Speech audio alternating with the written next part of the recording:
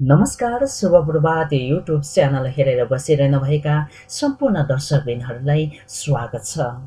यदि तपाईँले हाम्रो शुभ प्रभात युट्युब च्यानल सब्सक्राइब गर्नुभएको छैन भने सर्वप्रथम सब्सक्राइब गर्न नछुटाउनुहोला।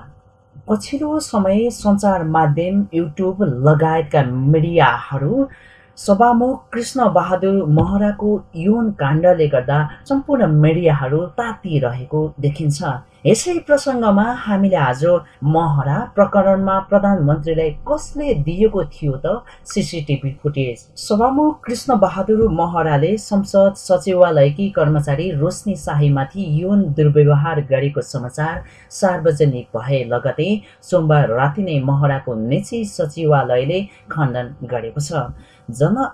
स्तर पार्टी तथा सरकारबाट तीव्र आलोचना र दबावपछि महराले मङ्गलबार सभामुख पदबाट राजीनामा दिएको हुन्। त्यही दिन साँझ पीडित भनेकी शाहीले एकाएक आफ्नो परिचय खुलाउँदै अन्तर्वार्ता दिइरहेका छिन्। महरा मेरा बाबु समान हुन्।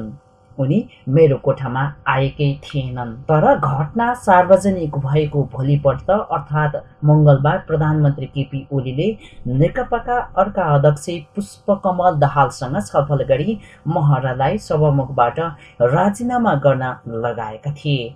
प्रधानमन्त्री ओली र अध्यक्ष दाहालसँग त्यस्तो केही नभएको भन्दै महरा पन्छिन खोजे।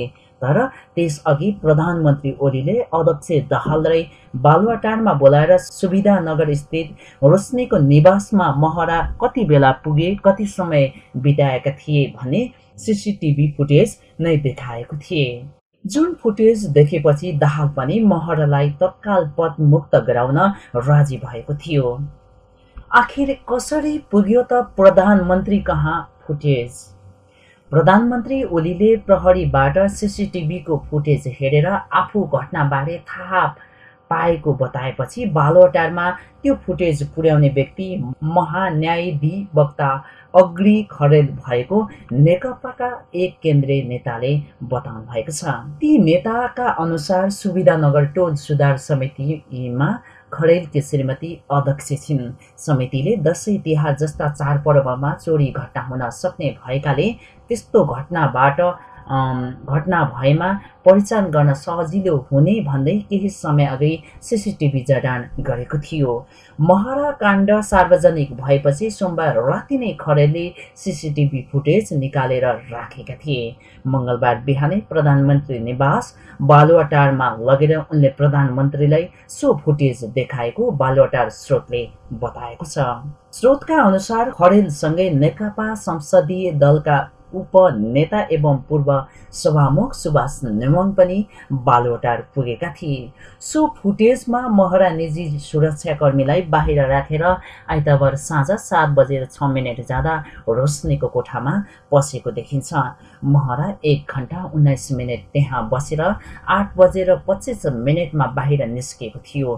त्यसपछि राति आठ बजेर त्रिपन्न मिनट जाँदा उनी आफ्नो सरकारी निवास छिरेका थिए। यो न्युज आज हामीले अनलाइनबाट हामीले साभार गरेका छौँ।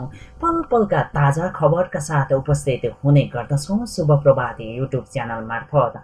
हवस् त अहिलेको लागि शुभ प्रभात बुलेटिन यति नै। नयाँ अपडेटहरूका साथ उपस्थित हुने नै छौँ। तबसम्मका लागि म जीवन बिदा हुन चाहन्छु। हवस् त नमस्ते। पल पल रोचक घटनाका लागि शुभ प्रभात युट्युब च्यानल हेर्न नछुटाउनुहोला। हाम्रो च्यानललाई लाइक कमेन्ट सेयर र सब्सक्राइब गर्नुहोला। साथै बेल आइकन पनि थिच्न नभुल्नुहोला।